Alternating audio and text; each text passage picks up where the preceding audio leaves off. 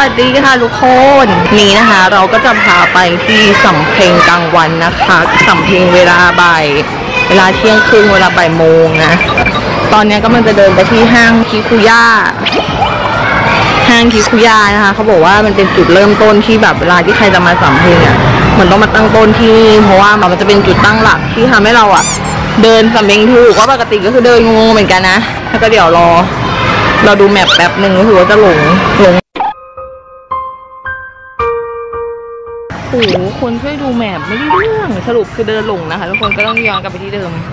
แล้วกลับไปที่เดิมใหม่นะเดินตามร้อนมากคือถ้าเกิดมากลางวันน่ะจะร้อนมากคือรถรถแบบเรารถติ่งทั้งมอไซค์ที่ไม่เลือกมากลางคืนเพราะว่าคิดว่าตื่นไม่ไหวแน่นอน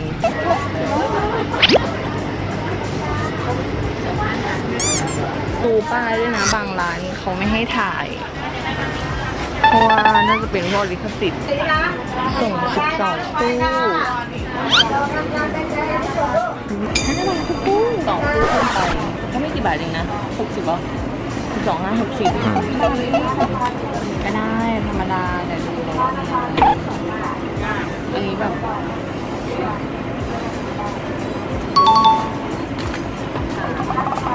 จะบอกคู่จะเลือกยังไงบ้างขายที่ไหนสามสี่ห้าหกเจ็ดคู่อยู่เลยอะ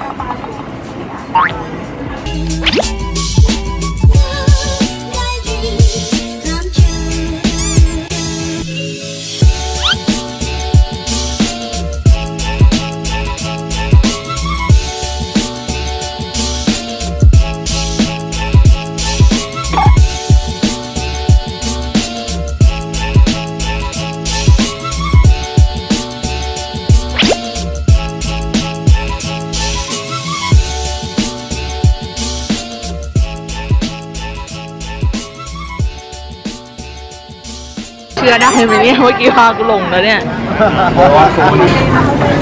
ของกินต่างๆ แล้วก็กระเป๋าต่างๆกูกระเป๋าก็ได้อยู่นะเริ่มร้อนแล้วอะหัว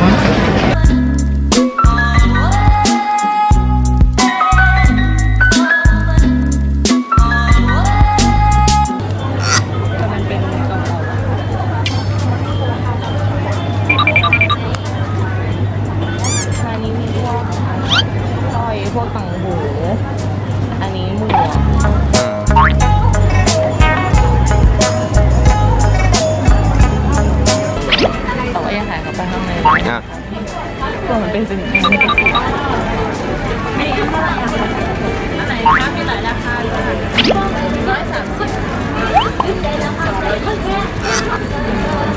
เอาสักอันหนึ่ง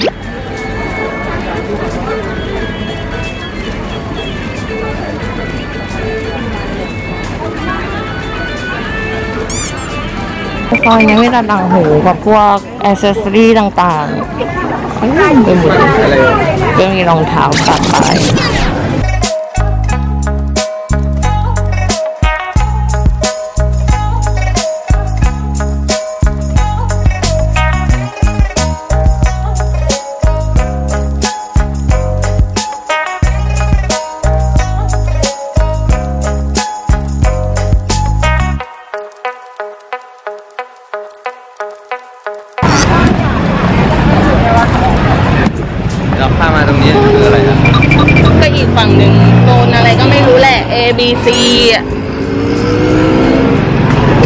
ฝั่งนี้เขาบอกว่าเป็นกระเป๋าอะ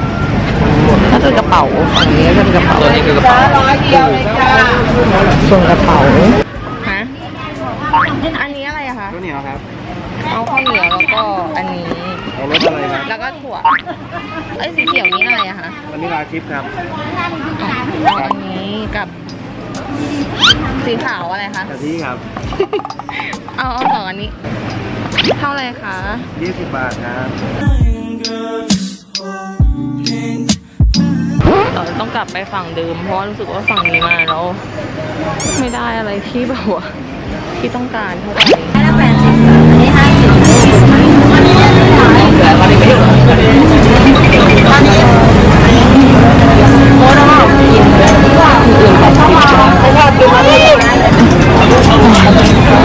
ม่บอกว่าแพงไปไม่เอาค่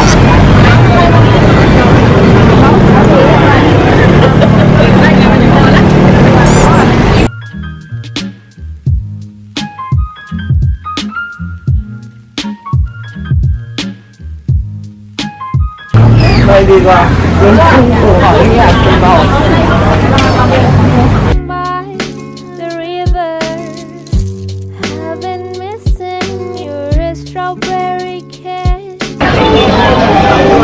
หมวกเต็มเลยไป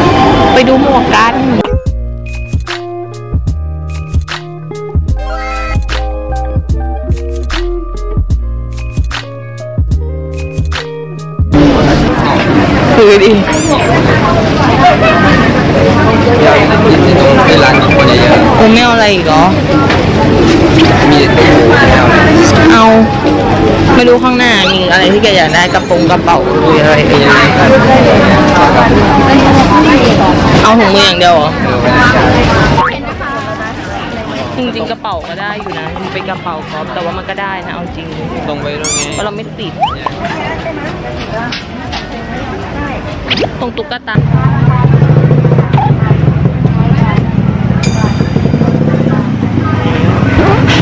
แล้วก็เดินกลับวนมาที่เก่า เราได้คำตอบคือตังหูร้านแรกที่เราซื้อไปไปถูกที่สุดแล้ว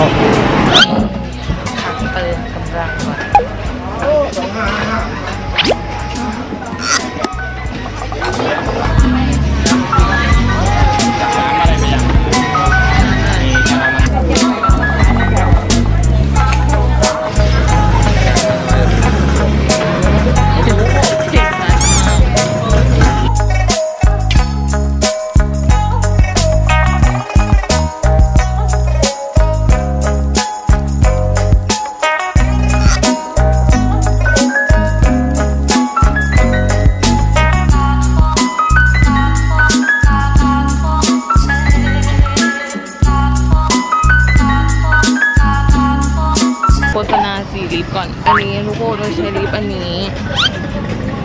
อันนี้เป็นลิปยี่ห้อ Party Kiss Creamy Tint อันนี้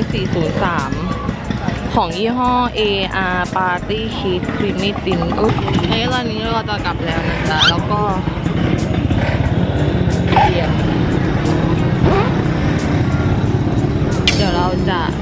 ไปไทยอินต่อที่ห้องดีกว่าเนาะไปถ่ายให้ดูว่าซื้ออะไรบ้างวันนี้ เดี๋ยวเราไปถ่ายให้ดูต่อที่ห้องว่า วันนี้ที่สำเพ็งเราได้อะไรกันบ้างเดี๋ยวไปเจอกันที่ห้องนะ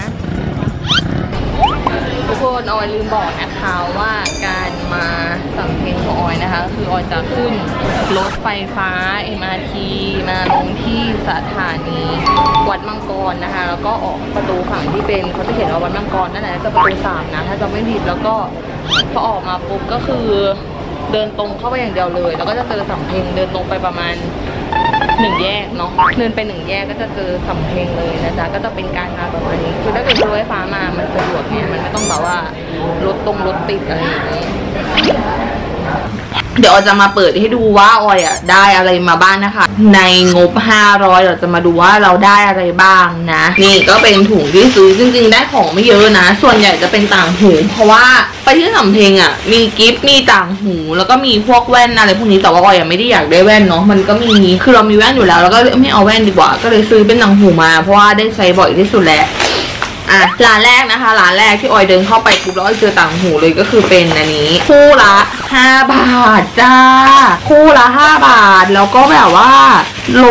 คือต้องซื้อขั้นต่ำหนึ่งโหลแล้วคือหนึ่งโหลก็คือ12คู่12คู่60บบาทถูกมากแก เอาไปขายต่อได้เลยนะจริงเนี่ยเดี๋ยวจะให้ดูนะ ก็เป็นต่างหูแบบอ่าเขาเรียกว่าอะไรวะอลูมิเนียมต่างหูโลเนียมอะไรอย่างเงี้ยแหละคือเป็นต่างหูที่แบบไม่ได้เกรดไม่ได้เกรดดีมากมาย แต่ว่า ก็คือใส่ได้นะคะ ก็จะเป็นประมาณนี้ คู่แรกก็จะเป็นประมาณนี้นะคะ แล้วก็ใส่แบบนี้ อันนี้ก็เป็นคู่ที่สองอ่ามันติดกัน อันนี้ก็เป็นคู่ที่สองนะคู่ที่สองก็จะเป็นอย่างนี้ที่สมัยแต่ก่อนเขาฮิตกันอะแต่ว่าเดี๋ยวนี้ก็ก็ใส่ได้อยู่นะคะ แล้วก็อันนี้ก็จะเป็นคู่ที่สามใส่ติดติดหู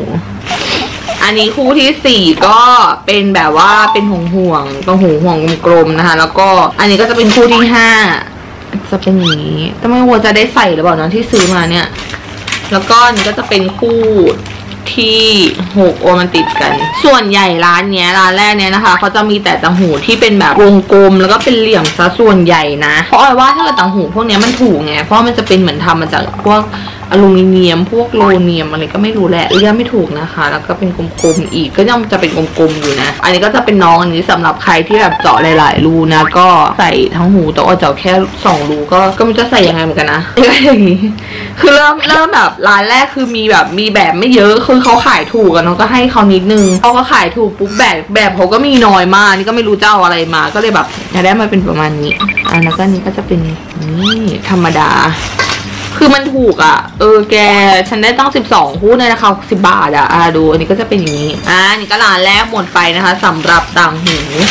แล้วก็เดินเดินเข้าไปนะคะ ต่อไปก็ไปเจออันนี้กระจก เดินเข้าไปก็เจอกระจก เพราะว่าอยากได้กระจกที่แบบสำหรับตั้งแต่งหน้าสวยๆอะ่ะ แล้วก็อันนี้ราคาอยู่ที่ประมาณ 130 บาทนะคะเขามีสองด้านด้วยกัน คือฝั่งที่เป็นแบบตูนกับฝั่งที่เป็นแบบธรรมดา คือเขาก็เกรดราคาตาม เกรดตามราคาทุกคนนี้เป็นพลาสติกไม่ได้เป็นเหล็กนะคะ คือเขามีแบบเป็นเหล็กก็มีแต่ว่าอันแพงกว่านี้มันประมาณเกือบ300อะเขารู้สึกว่าอันนี้มันก็ใช้ได้เนาะเราไม่ได้เอาไปไหนเนาะแล้วก็คือมองเห็นทั้งสองฝั่งโอเคร้านต่อไปนะคะ ก็อันนี้หมดไปแล้วเนาะหกกับสามเป็น ร้อยเก้าสิบบาทแหละ ต่อไปก็จะเป็นอันนี้นะคะ นี่ก็จะเป็นหมวกที่แบบเป็นหมวกแก๊ปที่จริงๆที่สำเพ็งอะเขามีหมวกเยอะนะ หมวกสารหมวกอะไรอย่างเงี้ยสำหรับใส่ไปทะเลแบบหน้าร้อนๆแบบใส่ทะเลอะไรอย่างเงี้ยก็คือโอ้ยอะไม่อยากได้แบบนั้นโอ้ยอยากได้แบบนี้นี่อันนี้ก็จะเป็นหมวกแบบนี้ ก็เป็นหมวกแก๊ปประมาณนี้อุ้ยน่ารักอะก็เกือบหมดแล้วนะ เอาจริงงบห้าร้อยจริงๆอะมันก็ไม่พอนะ แต่ว่ารู้สึกว่ามันไม่มีอะไรที่แบบอยากจะได้อะไง ก็เลยแบบต่อมาอันนี้คือแพงที่สุดแล้วก็คือต่างหูนะคะ แต่ว่าต่างหูร้านเนี้ยเขาส่งอยู่ที่ประมาณเอ่อส่งอยู่ที่สามคู่ ก็คือจะได้ราคาส่งอยู่ราคาหลังป้ายนะคะ จริงๆมันแพงนะ แต่ว่าต่างหูเงินที่แบบ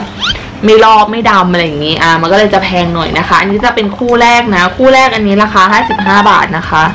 ใส่อย่างนี้เห็นไหมมันดูต่างกับอ่า คู่ละ 5 บาทเมื่อกี้เลยนะ เพราะว่าเขามีแบบค่อนข้างจะเยอะ อันนี้ก็จะเป็นคู่ละ 55 บาท ถามว่าอันนี้แพงไหมแพงนะออมองว่ามันแพงนะสำหรับราคาส่ง เพราะว่าเขาเป็นขายส่งเนาะคือออยังนึกไม่ออกเลยนะว่า ถ้าซื้อคู่ละ 55 นี่ตามร้านเขาต้องไปขายคู่ละเท่าไหร่เนี่ยคู่ละเป็นร้อยเลยเนี่ย เอาจริงก็เป็นคู่แรกนะ ส่วนนี้จะเป็นคู่ที่สองนะคะอันนี้แปดสิบบาทนะเนี่ยถ้าใส่ติดติดหูหน่อยอ๋ออันนี้ก็จะเป็นแปดสิบนะ แต่ว่าข้างหลังตรงนี้มันงอเอาลืมดูกลัวมันจะหักจังเลยอะแล้วก็คู่สุดท้ายนะคะ ที่ซื้อมาในวันนี้ก็จะเป็นคู่นี้นะจ๊ะคู่นี้ก็จะใส่เป็นแบบนี้อ่า